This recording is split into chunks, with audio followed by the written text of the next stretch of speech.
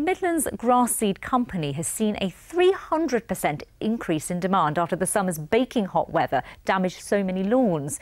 Freezing cold temperatures followed by a summer-long drought meant that many simply didn't survive.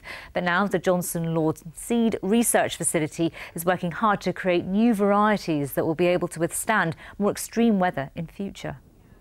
We're looking at breeding grasses that are more tolerant to drought, heat and cold weather.